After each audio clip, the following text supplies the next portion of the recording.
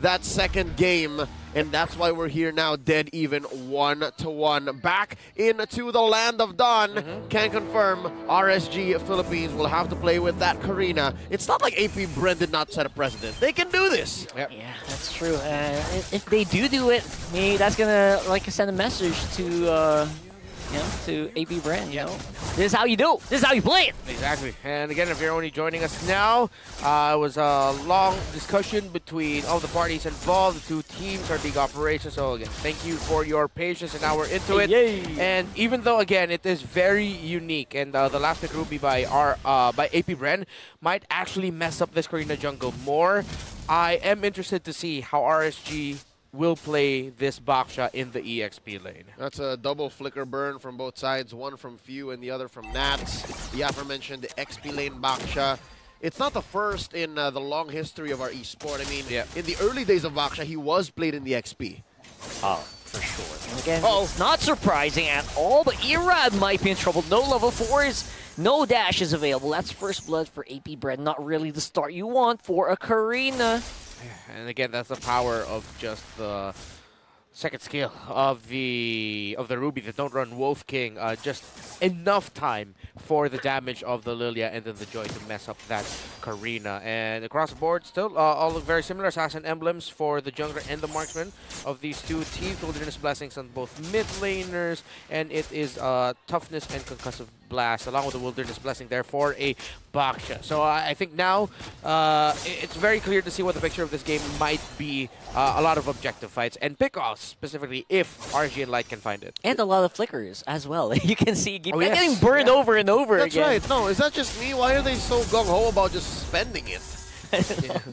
they're they're definitely gonna lack out in terms of this first turtle, but maybe they conceded already. Yeah, it feels like an AP Bren turtle already. Light is here, Irad close by. Aqua as well with another realm ready, but looks like RSG just opting not to go for it at all. And yeah, uh, that was the right call. You, you shouldn't overcommit to the scenario. Uh, Ultimate was up there on that Joy. So now AP Bren can, can just continue this momentum over and over again. RSG, though, uh, you can tell the slight discomfort coming out of uh, their game and their movements right now. Here comes an invade. Yeah, huge invasion here coming in Oh. from Flaptzy. Not going to be able to secure that. Flaptzy with the penalty zone. Aqua, he's behind. That could mean big problems for AP Bren. Another flicker being used up. I don't see why that was a good idea. It's at 4v2. I mean, yeah, your kits are much better, but three minutes in, after a stolen orange, oh, that, that, that was asking for it.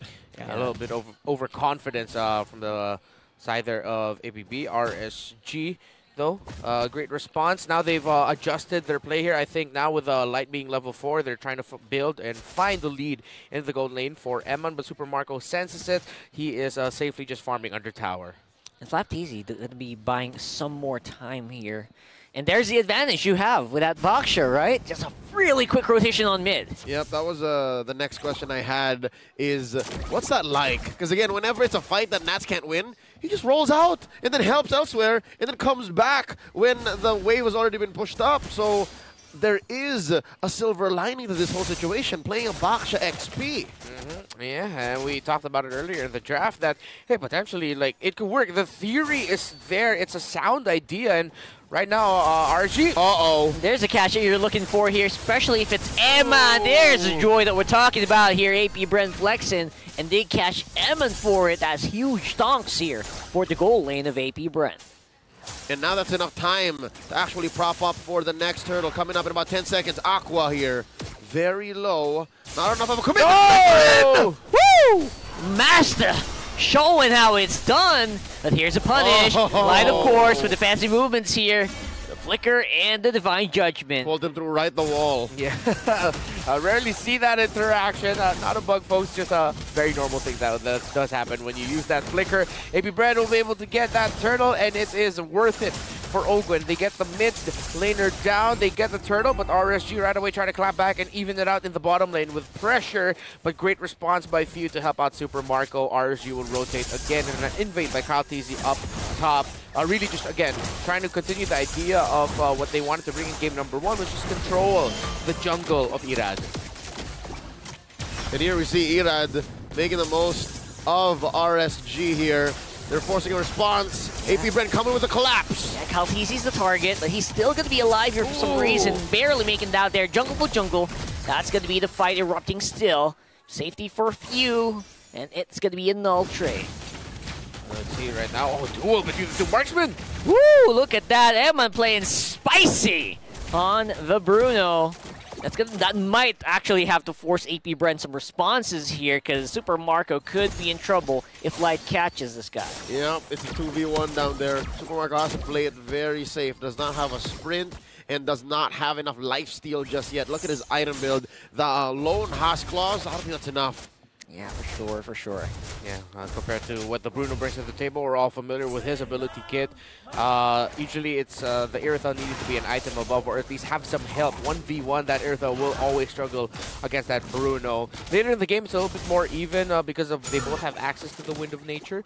But at this point, AP Bren, if they really want to build a lead for Super Marco, and they need to help him out even more because RSG have been trying to really do that. The help that Super Marco's been getting has been mostly other than, of course, that one gank that they were able to successfully take Emann down. It's always just been to like, okay, let's just make sure that uh, RSG won't be able to take Super Marco down, and then we'll go. And we're seeing the evidence of why Bruno is just such a good pick. Even with uh, everything that happened, he's actually still the scarier force here Uh, yeah. on the bottom side of the map. Yeah, he has taken the role of Beatrix, being ever so reliable, regardless of what phase in the game.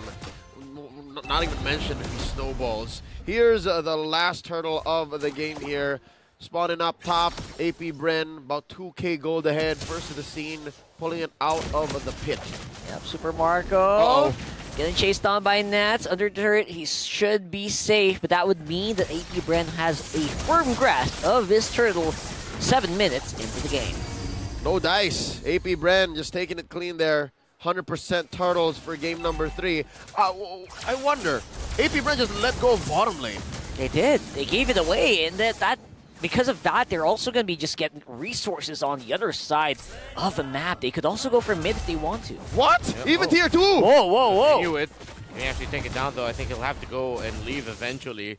Uh, RSG don't have enough info and uh, it's right now it's just flap. So I think right now we've already seen uh, the yeah the Baxia works or could work. However, just because of the sheer clear speed that the Terizla has, Nap has been effectively shut down in terms of uh, effectiveness and map presence. Uh, the Flaptzy and his Terizla has the number over Naps and his Baxia. Something to note once more. I'm waiting for a fight to break out here. Owgwen spent his flicker. So that's about 90 seconds until he gets a big ult on to RSG. But, oh, there's one! There you go. That's Owgwen gonna get caught out. You don't have a flicker. You're the next target. But here's Kyle, and there goes another realm, catching off an Irrad. No retribution. That could be good. Flap. But that's gonna be Flap going in here as well. Light no more. Divine Judgment will mean that it might have to be a stalemate. That's a one for one in the end. They're living on the edge. You saw how Super Marco almost went down there. 1 HP. Almost went down to the land down under, did he? And that's uh, RSG. Crikey. Crikey, indeed. RSG PH. Now, uh, yeah, uh, I think we're really just starting to see the discomfort of the playstyle, but Absolutely, Governor. They have been responding well, though, weirdly enough. A- Uh, they're trying to. It's a compromise, but they're Yeah. doing the best that they can. Uh, exactly. Uh, you can still see, uh, again, an idea around it, but even though they get to take down Owgwen right now, the counter punish coming out of the Irithel and the Joy together with the lead that they were able to build themselves uh, is a problem right now. A lot of it for RSG uh, in this scenario now hinges on Aqua's timing with his Nether Netherrealm and just how much time he could buy it to see if somehow Emann and Ira will be able to dish out enough damage to take Oh, down the members of APB. Speaking of Irrad, he's three levels down to KyleTzy. Just hit Oh. level 11. Means that Yeah. AP Bren just itching to get that Lord. Forget about it. Contesting, crossing the river, they're lucky to have waves crashing down. They're lucky to have at least these small camps in, because that's how bad this is looking. I did not even notice that Irrad was down that hard. Yeah, he's just really been playing cash up with his joy. The I believe that's another learning that we discovered in terms of uh, the rotation, rotational speed. But then at the same time, it's also just because uh, Kati's has been invading. He's on, constantly been uh, going behind. And 2,000 gold. yeah, Dang. it's massive. And because again, uh, we don't feel Nash as much as we do feel Flaptzy. Uh, Irrad isn't getting as much help. Yeah, at this point, uh, it'll take a miracle for Archie to turn things around. Not impossible, but close to it. AP Bren, they could just continue riding this momentum and play this out uh, textbook and fundamentally. Yep, look at this four and one. AP Bren sending Lord through top, and they'll be pressuring mid as well. Let this one be one? Oh, two v one. KyleTzy, is he gonna make it out? I think Oh! he is, and that's that kill, just as salt to the wound. Lighties could be in trouble here. Flaptzy for the chase. Oh, run, light, run! Oh boy. Kyle! just as you expect. Kylan and Profilin. Just a hit be away from being taken down, and he gets away, comes back, and says, Let me finish what you started onto me. What a play by the Phenom that is KyleTzy. Down bottom. Oh! Nice hook in Aqua. Woo! Netherrealm just for safety. Man, oh man. This RSG comp is starting to fall like a ton of bricks. Or a stack of Jengas. I think that's what you were going for. Stack of Jengas. This, this, this is AP Bren just knowing and understanding that there's very little RSG presents. Uh, just shows the how important an overall comp is, despite there being some rhyme or reason, some logic to each hero in each role. It's safe to say, yeah, optimistically we can make this work, but not at this level. Absolutely. AP Bren looks like they ha- they got the number, and they just need to. They're just trying to take the the disciplined way around this, and yeah, they're making RSG work even for the smallest scrap of gold around the map. Yeah, and this is at this point, it doesn't even feel like a question of can AP Bren win. It's uh, when will they win, uh, And how. and how. Uh, RSG, they're just again, of course, uh, you're not gonna surrender. You're not gonna just uh, start throwing left and right. Uh, again, they're they're still trying to make this competitive. They're still trying to find a way to turn it around. And hey, earlier in game number one, uh, AP Bren was uh, down a considerable amount and found a w- and in game two rather and found a way to turn it around. I mean, who's to say, even though, again, it doesn't look, look really good for RSG, that they won't be able to do the same thing. Yep. And now another Lord spawns. RSG nowhere near the Lord pit, and they're just playing as safe as they could. They're pushing waves, making sure that no permanent damage is dealt to their base. But gentlemen, as AP Bren secures their second Lord of the game, I gotta say, despite this being RSG struggling and this game being AP Bren's to lose, we can't say it's 100% AP Bren. We Yeah. can't say it's totally their game right now. There is a non 0% chance that RSG comes back. Yeah, Yeah. for AP Bren, complacency is the enemy, as well as you know just underestimating what your opponent can do. Uh, in terms of like burst, because I feel like this lineup of RSG still has a ton of burst in a single target. Uh, problem is, though, the wave clear uh, incredibly lacking for RSGPH. At this point, AP Bren can just throw bodies and just make sure Super Marco staying in the back. And then Super Marco will just be able to freely hit uh, people, uh, heroes, or towers! Oh, Flap, speaking of the throwing bodies, throws himself straight into Nathzz as well as Irad, making it clear that AP Bren are here to play here on game number three. All right, they penetrated bottom as well. Concealed play by Owgwen. They're taking this one step at a time, surgically specific. Now the base. Now the base is going to be the target here in the realm just for safety, just trying to do throw everything but the kitchen sink here, and they might just repel the AP Bren offensive.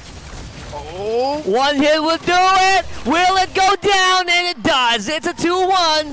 AP Bren at match point. This winning moment is brought to you by our official sponsor, FWD Life Insurance. Context and situation, regardless of that, AP Bren made their lineup work.